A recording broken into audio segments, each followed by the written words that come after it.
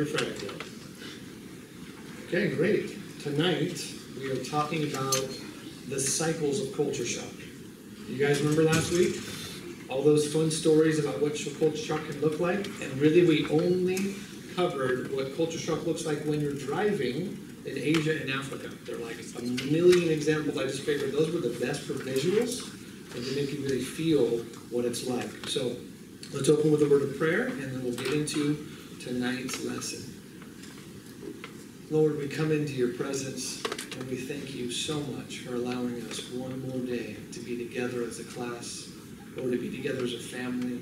Lord, that you provided food for us and a time of fellowship in these next few hours as we wait upon you to hear your heart, Lord. May our heart be with what causes your heart to beat. Lord, give us your eyes as we look into the world. Lord, give us your eyes as we look into the mirror and feel inadequate. But Lord, we know that you have called us, that you are going to empower us, and that you are sending us. Give us wisdom tonight with these practical matters of culture, culture shock, and how our emotions will cycle up and down through these things as we walk with you, trust in you. Lead us, Jesus, into your everlasting work on this earth to change souls for eternity. We thank you, Lord, in your name we pray. Amen. Amen. So tonight, the cycles of culture shock. And I didn't know that Shane was going to do announcements about the mission trip, so I'm going to add on to that a little bit. You should have gotten uh, on your desk a list of uh, different trips that are out there. Just notice this. We have, from this point until the end of the year, we have three more homeless outreaches five more outreaches to Mexico. Now, these are all one weekend. The homeless things are one day to Los Angeles, to Skid Row, to our largest homeless population here in Southern California, and then to Mexico. Those are for the weekend. Very easy to do. You will need your passport, as Shane said. And then we have two outreaches to Muslims here in America. One of them is going to be in Southern California, and the other one's going to be in Michigan. Dearborn, Michigan is the largest uh, a conglomeration or a condensed Muslim population in America is in Dearborn, which is right next to Detroit. So we're going to do an outreach there, and that's going to be a really neat time and be a part of that. That will change your life. And then, as you can see, Haiti is uh, on that list. Going to Haiti, that doesn't take two or three weeks. It only takes one week. It's a lot less money, but it definitely a devastated area that needs a lot of help. And then we also have uh, finally the trip to Africa at the end of the year, and that will be the day after Christmas, all the way through the new year, ministering in northern Uganda, and that is mostly in Muslim populations. And we can send out uh, this if you want this. I can send you guys this PDF, and I can add James Flores' number. He's the one that's leading these mission trips. I can send those to you as an email um, if I forget, uh, maybe send me a message tomorrow and remind me that I said that tonight, and then for sure I'll get it out to you. And you can, you know, uh, be a part of that or not. That's totally optional. But as uh, Shane mentioned, we call it putting feet to your faith. We talk about faith. We say we believe in what we're doing and what we're being trained to do. Well, these are those first steps to really put feet to our faith. All right, let's look at uh, the review of the reading from this week.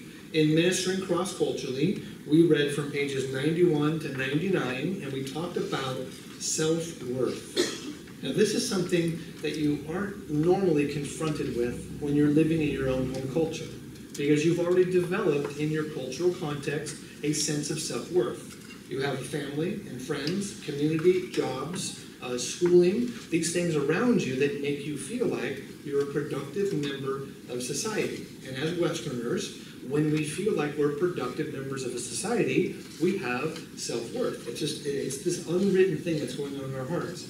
But when you move to a new country, all of those concepts of feeling like I'm productive are stripped away. Totally, completely stripped away. So in our reading, we looked at the two different ways that the world in general, on the far left or the far right, sees self-worth. Some of the world uh, feels that they're born into a family or a community, and because you're part of that community, that tribe, that uh, you know, group of businesses, then you have self-worth given to you. That's called ascribed. So it's given to you because of where you were born and what family you live in. You know, in the Bible, it talks about so and so is the son of is the son of, is the son of. The reason why they do that, because in the Hebrew culture, when you were born as a son of Abraham, right, you're already, in a sense, a chosen person. And if you're the son of Joseph, well, then you're even a more special chosen person or whatever. So that's why those cultures do that. Many cultures do that. In our culture here in the West, we don't do that. Where do we fall in this sense of feeling self worth? We earn it. It's not ascribed to us. We actually work for it, and we work hard for it. Sometimes we use the term climb the ladder. You've heard the term climb the corporate ladder. It means to feel successful. You have to start off in a some you know medium position, and because of your hard work, your tenacity, you never give up, and you just keep climbing and you keep climbing. And so, in some parts of the world, you work for this sense of being worthy. In other parts of the world, you're born with a sense of being worthy. We must see that so that when we go to somebody else's culture, they don't care what they're doing in that moment as long as they're the son of, or the daughter of, or the cousin of. They feel it, and we're trying to work, and they say, What are you working for? You either have it or you don't have it. So these, these are concepts that we need to think about as we're going out. We're not going to talk about that tonight, but I think the book did a great job of it. And then you remember what the author said? How did Jesus see these two concepts of self worth? He threw them both out, didn't he? He said it's not about working hard or about being born into a certain family. You remember when the Jews said, We have Abraham as our father? That's what they were saying. We found worthy worthiness before God because Abraham was our father. And Jesus says, You're not even children of Abraham. You might be of the flesh, but you're not of the spirit. You're sons of the devil. And that was pretty intense. So Jesus said, Forget about all of those worldly concepts of feeling worthy. If you want to be great in God's kingdom, you must become what? The president of the country? You must become, you know, or you must have been born into a certain family? No, you must be a servant of all. So Jesus rejects these two completely and says there's a whole nother way. Now that's something that we all need to grapple with at this moment. Lord, if you call me into another culture and I feel like I am worth nothing because I can't speak, I don't understand, I don't know what to do, I'm not able to share, all of those things I did so naturally in my own culture, now they're stripped away from me. And the Lord says, just be a servant. If you want to be great in God's kingdom, become a servant of all. Normally, we always say the Bible is a balance of the two worldviews. In this one aspect, the Bible says throw out those worldviews and become a servant. Now, here's an interesting thing. When you serve people anywhere in the world, you are showing God's love in a way that is uncommon to the people. A friend of mine in Sri Lanka, his name is Kanan. I'm not even saying it right, but that's how I would say in my English. Kanan. Kanan was born in a low Hindu caste family. His father died when he was a young boy.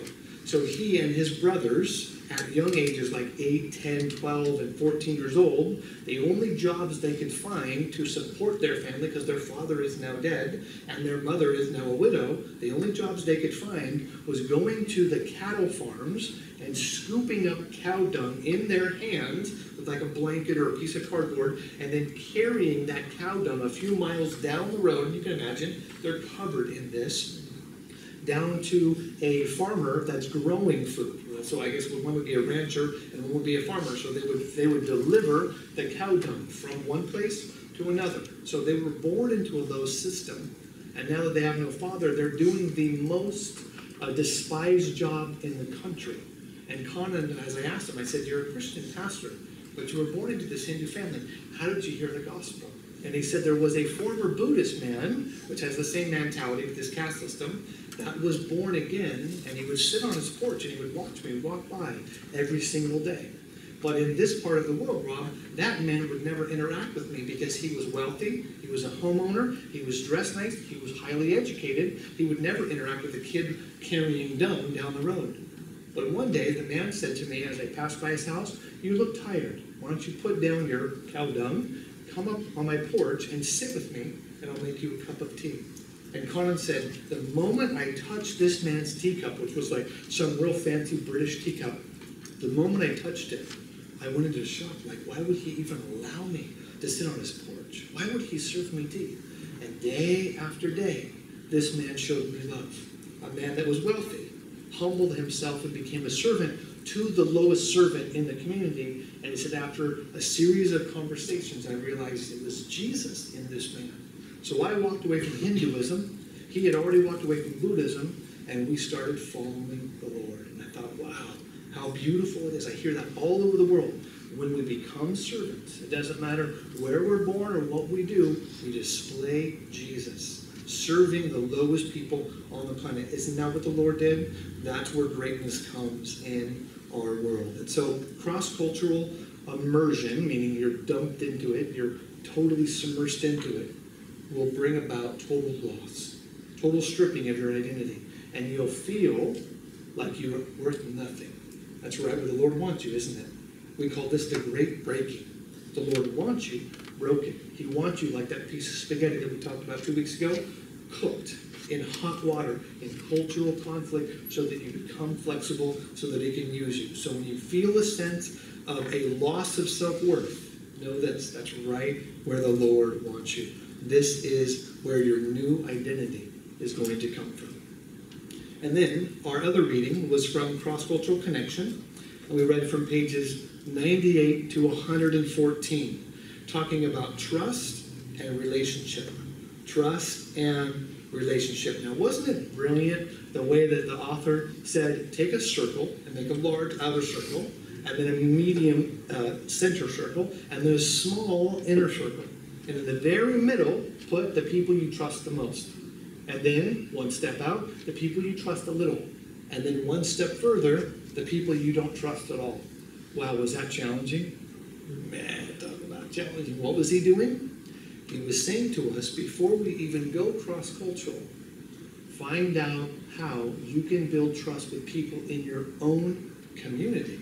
People that have offended you, people that have done things to you where you feel like they don't love you, and you don't want to reciprocate the love that Jesus wants you to because they've done something, you don't trust them, and you said, in a sense, that person is always going to be at my arm's distance. Now, I've got a whole series of people like that in my life. I'm just like you. I haven't mastered this. And I was looking at that, I was thinking, wow, Lord, you're really digging deep on this one. You are digging deep. What does He want us to do in this in this teaching, in this reading?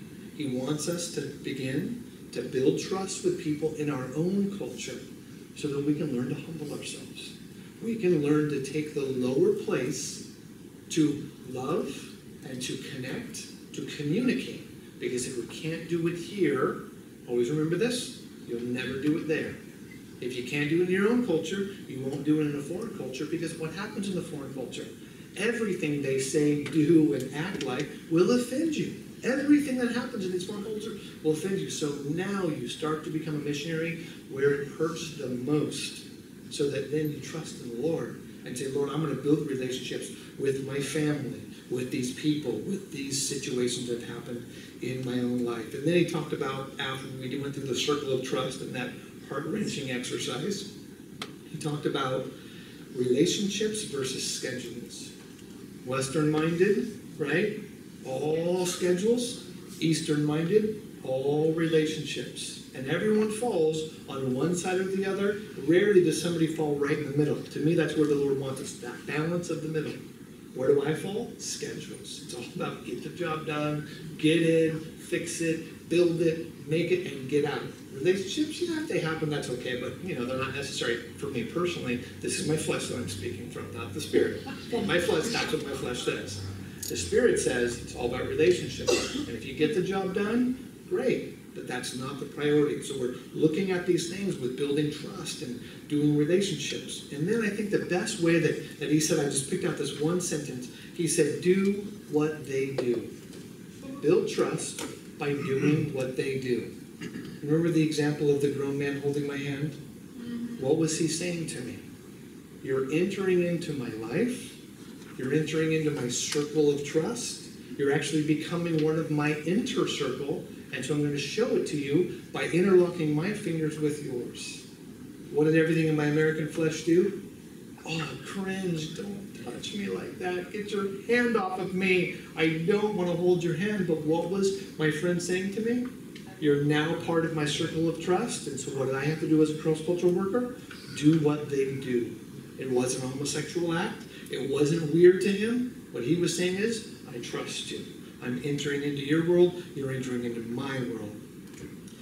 And then as we're developing this thought, the, the one note that I put down was the greatest way to build trust with somebody is to suffer with them. The greatest way to build trust with anybody, anywhere in the world, your culture and a foreign culture, is to suffer with them. So God would design these situations for you to suffer, maybe through a sickness, and then they minister to you, and you build trust. Like you realize I wouldn't have lived through the week or the month without my local people, even though I don't believe in their medicine and I don't understand what they're doing. Without them, I would be gone. And when they see your willingness to stay in their country, to stay in their community, knowing it's creating suffering, it could be sickness. This would be physical sickness, like the wrong kinds of food or bad water. It could be a mental thing, like culture shock. We're going to talk about tonight how we go into these deep depressions, and they watch you go through that, but you don't run away. You stay with them. Or it could be a, a personal security. People come and they attack you. You know, they, they rip you off. They, they rob from you. Maybe they shoot at somebody. Maybe you're part of a situation where people die and people are bleeding. And it is heart wrenching, but you don't go anywhere. You might take a couple of weeks off to try to understand what's going on, but then you come back and you say, no matter what happens, I'm with you through the thick and through the thin. Or does it say when we get married? Through sickness and health, right? For better or for worse. That's not just between you and your spouse, that's between you and the people that you're ministering with. I am with you to the very end. When they see you suffer with them and they know your suffering is because you're there in their community, their hearts will just open wide up. Even if they don't speak your language or you don't speak their language, suffering will open up doors that nothing else can. Now think about the way that the Lord has proven that He loves you. When He hung on that cross, He proved for eternity, I love you. You know, when you're taking communion, I, like to simplify things. I don't want to like when I take communion or I pass out communion in church. I don't go off on these long tangents of what communion is. I just say, "You see this piece of bread? What's this mean? He loves me." That's it. When this piece of bread goes in my mouth, cracker, whatever it is, or pita bread, when it goes, it's a, He loves me. Because when I see His hands on that cross, no matter what I feel like, no matter what the enemy's saying, no matter what kind of trials in my life, it means He loves me forever. That's the beginning of what? Relationship. That's what we do with them. The same thing the Lord did for us, we do it with them. Now, we don't save them, we know that. But we preach the same gospel that Jesus did. I'm willing to lay it down. Now, think of. When are the times in your life when you're closest to the Lord personally? Not just that moment of being born again and asking for forgiveness and feeling your sins being washed away, but it's when you're suffering and Jesus is holding your hand every step of the way. A family member is passing away. Something in your life is broken. All your money's gone. Something's out of your control. And who's with you? The Lord Jesus Christ. That's when my relationship with Him grows the most in suffering. It is the same way with you and the people God has called you to. So God has given us these wonderful times learning to trust Him when we are broken and the people see our willingness to stay with them so they then will trust us. So we had a great reading. I wanted to talk more about it, but we still have to cover our text for tonight and our subject for tonight. So let's just review quickly what we talked about last week so we get ourselves caught up to speed. We looked at the picture of this little Western girl with her beautiful blue eyes and her blonde hair standing in the middle of a group of Indian girls, and the little girl's thinking, Where am I? How did I get here? This is a picture of culture shock. Oh dear Lord, what's next? How do I how do I do this? These people think I'm funny. They're laughing at me. They're poking at me. They're pulling on my hair. My son said to me yesterday. He's uh, he's what is he? Ten? He's eleven. He's ten. Good. My daughter's here to remind me. I've got three kids. By the time my dad gets to the second kid, he forgets. My ten-year-old son says, "Dad, when are you going to take me to Africa? And I said, son, if I take you to Africa, you know, he's got a blonde hair, he's all towhead. I said, expect him to be pulling on your hair the whole time. Because as soon as you walk in the room, all the kids will take their hand, and they'll pull on it. Because that's what they do. They've never seen blonde hair like that, especially on a kid. So you show up in these places and they're poking at you, they're laughing at you, they're touching you, they're pulling your hair. And you're like, what's going on? This is culture shock. You feel like a child. I don't know what to do, I don't know where to go. I have no idea what's happening in my life. So, defining culture shock is a still review from last week. Culture shock is losing the ability to think clearly or rationally. It's just gone. You don't even have one percentage of ration, rational thought. It's just gone. It's like culture shock hits, all rationality, all clarity is wiped from your mind, and you're thinking, what am I gonna do now? I feel totally lost. What were some of the things that happened in culture shock? We realized that when we go far from home, our culture shock becomes more intense. The further you go from home, the more challenges you'll face. The further you go from home, the more time it will take to adapt. The further you go from home, the more cultural training you need. Never throw away the books that we are studying now. They will make the most sense to you and they will be the strongest in helping you take root into this new culture when we talk about our topic tonight. These books now are just theories, but when you're living there, they're going to become your lifeline. And then in, in concluding on our, um, on our review, we looked at our cultural adjustment map, and we looked at you can enter in, into this new culture with openness and acceptance, or with fear and anticipation, and you're not flexible and you're pushing them off because no matter how you enter in, you're going to find frustration, confusion, tension, and most of all, embarrassment. No one wants to be embarrassed, especially when you're an adult and you're used to being a leader and you're sent out from your church as a leader. You're going to go plant the gospel. You're going to make a difference. You're going to be, and I'll use the term pioneer because it's an old term, but it makes sense. I'm going to go there and bring the gospel, but I feel like a total failure and I'm actually spending more time being embarrassed than I am as a leader. That's enough to cause you to break. Then you have a group of choices to make. I'm either going to be observant, listen, ask questions, learn, and then enter into their world, or I'm going to criticize, I'm going to rationalize, and I'm going to withdraw. You have those choices every time you enter into a world. And we talked about don't fight it, just go with it. Don't fight it. Go with it, love them, be a part of them, remain soft. Any questions about our reading or last week's message at all? You guys are all good? Okay, great. You're Like so quiet tonight. So we give you time to like talk and interact? We're all good? No hands up? Okay, great. Excellent. All right, tonight, the cycles of culture shock. The cycles of culture shock. Last week we talked about culture shock itself. What is it? And this week, what we want to cover is the cycles of it. This means that sometimes it's very faint, other times it peaks out, and then you drop off, and then you start to rise back up again. Another way to put it is the roller coaster ride of culture shock. You guys have all been on a roller coaster? In the beginning, it feels really fun. You're going click, click, click, click, click. You're going up. All the anticipation's there. This is awesome. Like, take your child when you have children on their first roller coaster ride, sit them in the very front seat, and make sure they raise their hands, right? Like, this is great, this is great, this is great. And all of a sudden, you get to that top part. You guys have all been on the roller coaster? And then you drop, and then the streams come, and I can't believe this is crazy. What am I doing, Dad? You hate me. Why would you bring me on this? And you're holding them back. And then after a while, they go through the loop, right? And they come, and then once they're done, what do they say? That was awesome. Let's do it again. Well, that's what culture is, but spread that that 30 second emotion out over two years. I love it. I love it. I love it. I hate it. I hate it. Wait, this is great. Let's do it again. Two years of that emotion is enough to make you crazy. It's not just a 30 second ride at Disneyland or wherever you go to. Now, know this in level three, we're going to discuss this in detail.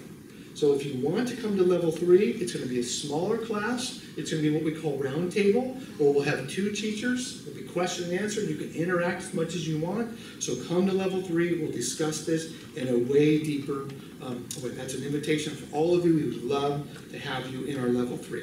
So, the cycles of culture shock. There are going to be six of them. Each person is going to go through these in a unique way. Some people will skip a few of these depending upon where they go, but everybody goes through these six different cycles of culture shock. The first one being the preparation stage. The preparation stage could be between three months and for others, three years. The reason why there's a difference is the younger you are, the shorter that time is because you're not established. You don't have houses and you know, families and jobs and, and you know parents to take care of. You're younger, everything's okay, and you just say, I'm called, your pastor says, let's do it. You get a little bit of training and a lot of prayer, and you go. So it might take three months. The older you are, the longer it takes, right? To disconnect and disconnect and make sure this is okay. And I got grandkids, I can't leave my grandkids. There's a whole nother level of trials. So the older you are, the longer it takes, but know this. God's calling you at that specific time for that reason. So number one, preparation. And then number two is when you get there, this is the beginning, uh, let's say first few months, this uh, next part is between one and two months, it's called the honeymoon. Now, those of you that are married know what I'm talking about. The honeymoon is, I've been waiting forever to marry this person, and now we're married, everything's perfect. Everything's perfect. I'll never do anything wrong. They'll never do anything wrong. We'll never have any problems in our life. We have plenty of money. Everything's perfect. Even if we live in a shoebox, we don't care because this is the honeymoon stage. Well, that doesn't last forever. One to two months, depending upon how far you go from home and what it's like. Once the honeymoon stage is over, this is the, the climax of that roller coaster, then you drop into what we call disillusionment. Disillusionment is, I had no idea that it was going to feel like this. I had no idea it was going to be like this. One of the main reasons for a cultures class is so that when you hit disillusionment, you don't check out and walk away from God's call. You're able to get through it and to push on. So two or three months of that constant downward spiral, feeling like there's no end and you're never going to make it. Number three, coping. You've hit the ground, you're down the bottom, you're depressed as can be. You're not going to leave and walk away from God's call. You're just going to hold on for dear life. That's coping. Coping is I don't like it, I don't want it, it's not what I expected, but I'm not giving up. This is the word tenacity. I'm not giving up. I'm just going to hold on. I'm going to hold on. I feel like I'm going to fall into an empty abyss and I'm going to disappear forever, but I'm not going to let go of this rope or this pipe or something I'm holding on to. I'm just going to cope. How long is coping? Six months to a year. This is the stripping. This is the total breaking. This is when God creates in you the ability to truly represent Him. He's emptying you of yourself and He's beginning to live in you. And it has to happen when you're broken. So that's the coping stage. And we're going to develop all these as we go on. After coping, what do we have? Adjusting. The adjustment phase is I've been to the top, I've been to the bottom, and I've been skidding across the bottom for six months now, and all of a sudden there's this little change going on. I'm actually starting to feel normal again. There is a chance I'm going to like it. There's a light at the end of the tunnel. If you guys ever run through like a black tunnel, when I was a kid, we would go down into the drainage pipes and you could see at the very end this little pinprick of light, and we would run as fast as we could. And of course, if we hit our faces, we didn't care. We were like eight or ten years old. Run as fast as we could, and that light would get bigger and bigger and bigger and bigger. And before you know it, like you know, a couple minutes in, we're standing out in this huge amount of sun because we came out. But where did it start with? One little speck. And we just kept going towards it, and that speck got bigger and bigger and bigger. And before you know it, we were flying. We were out of the dark. We were, you know, out of the, the um, the, the desperation, all of that. So that's what adjustment is. Adjustment is the beginning of seeing that light at the end of the tunnel. Then you have another six to 12 months of this time of adjusting, becoming like the people, starting to like your new culture. And then number six, settlement. Settlement or settling means, wow, this feels more like home than where I was born that's a really strange feeling. And I come back to visit my family here in America, California, where I'm from, and I feel a little awkward in California. How did that happen? Because when I left here, this is where I found all my comfort, and now I don't even feel comfortable back in my mother's home. I remember coming home for Christmas and eating dinner with my mom, thinking, where am I? What is this food? Why is everybody talking like that? Why are we using silverware? What's wrong with this picture? What had happened is I became more African than American. That's called settling. Now I actually like living here. I actually like living here. So those are the six cycles. We're going to spend the rest of the class developing these cycles. Before we do, let's be very clear. You will go through emotional extremes on all of these ventures, some of them will be high, some of them will be low, you're going to go through emotional extremes. These are extremes that most of us have never experienced until we're in a cross cultural situation. Now, remember our rule knowing is half the battle, When we know we're gonna go through these things, they won't affect us as strong, meaning they won't kick us off course or confuse us or cause us to feel like we're out of control. We'll know that these things are normal. You will go from, I love it here, to the next morning, I hate it here. To a week from now, I love it here. And then two weeks from now, I hate it here. And you'll be up and down and you'll think, am I crazy? That's the one thing you're going to ask yourself on the mission field when God calls you out. This is not a short term trip. This is long term. You're going to wake up in the morning, you're going to say, Am I insane? When you feel that, remember this class and say, No, I'm not insane. Every cross cultural worker goes through it. I love it, I hate it. I love it, I hate it. And after about two years of doing that, it will actually become, hey, it's not that bad. You know what? It's going to be okay. And you won't love it or hate it, it'll just be normal. But you've got a lot of time between those emotional extremes. And then the other emotional extreme is nothing can stop me versus I will never make it. Nothing can stop me. I am like a freight train. You guys understand a freight train weighs tens of thousands of pounds, and once you get that train moving, nothing stops that train. And then the next minute, you're like, there's no way I'm going to make it. There's no way I'm going to make it. I can't even get out of bed. I can't even walk. So, in one sense, God's with me, my church is behind me, and God's spoken, and this is going to be awesome. Or, you know what, I'm not even going to get out of bed today. I'm never going to get on a plane and go back to America because I'm too big of a failure, and the people don't like me here, and you know what, I hate it here. Why don't I just disappear? Why don't I just disappear? Nothing can stop me, and then the next moment, I will never make it. You will feel, follow me on this term, schizophrenic. Okay? You know the medical term, the psychological term? Schizophrenic. What's it mean? You're up, you're down. You're around here, you're over there. You're changing constantly. That is what culture shock will do to you. Total schizophrenia. Now, it's not permanent. It's not permanent. Okay? These are just cycles that we're going to go through. The more intense you are as a person, the more type A you are, the harder this is going to be. You see, so there I am, like all type A and excited and wanting to conquer the world, and I'm going through all this stuff. And my wife, she's just mellow. Now she's got a vision and a focus. She's got things she's gonna do, but she's doing this like these little bumps. And I'm like way up and way down and way up and way down. Everybody will go through it differently. The more type A you are, the more passionate you are, the, uh, the higher you'll rise and the further you'll fall. Just the way it is. And as a team, know this about each other and love each other through it. And this is our other extreme. These are three of the big ones. There's others, but these are the big three. God is speaking truth. One second later, all I can hear is the devil's lies. So on Monday, man, I opened the Word and God just spoke and it was awesome and we were having a great time and we're never going to leave this place and God's got a purpose for this place. Tuesday morning, you wake up and all you hear is the devil. That's it. What does the devil say? You'll never make it. Why are you even here? You're disobeying God's will. The Bible doesn't call you to do this. That's for somebody else. But for you, you need to be back at home working that secular job and not even stepping out in ministry. And so you go from these two extremes. This is the spiritual extremes, not just the emotions in your heart, but the spiritual warfare that goes on in your mind will shock you.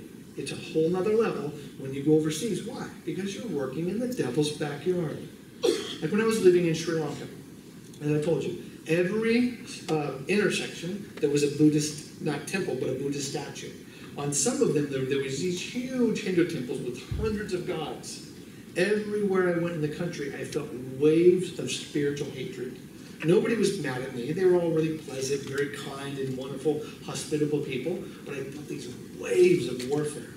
And the one band, Shane and Shane, for some reason, they wrote verses in such a way that when I would put that on in my car, I could make it from my house to the Bible college spiritually. But without Shane and Shane or somebody speaking truth into my mind, I would almost be crazy by the time I got to Bible college because there was a spiritual warfare going on.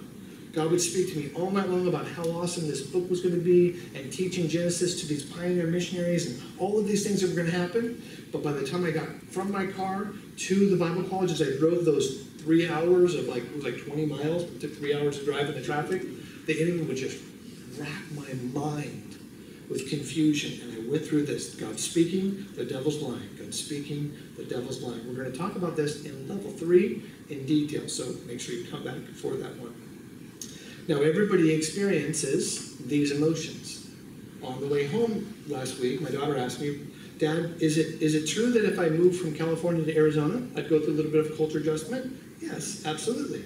If I moved to another state, like let's say, you know, Wisconsin, it would be even more because it's further from my home. If you go overseas to do business, let's say you go work in Asia or some other developed country, you're gonna go through these same cultural things. But it gets worse when you go over as a spiritual leader. Because when you enter a new culture, not as a business person, but as a spiritual leader, that's when really everything begins to crumble in your heart because the warfare comes in with the mental instability and all of the feelings of being inferior, and everything starts to implode. And it feels like there's a black cloud on you. So everybody goes through it in a small way, moving around in your own country, in a medium way, moving around the world for secular work, in a major way, going into foreign countries for a spiritual work. Because the enemy knows you're in his backyard and he's going to come at you with everything he has. So, rule number one God will never change. God will never change. We know that. From the beginning of time until the end of time. Let's just say for what we know Genesis 1 1, Revelations 22, verse 21, God has always been the same. This is the one thing that holds me solid in the sense of my mind is being uh, just bombarded, my, my heart slipping away, my emotions are a wreck, but God's promises in His Word will never change.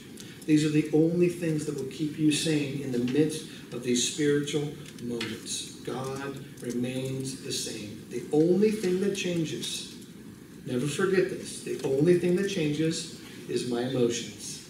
Never. It's never God. It's never the call.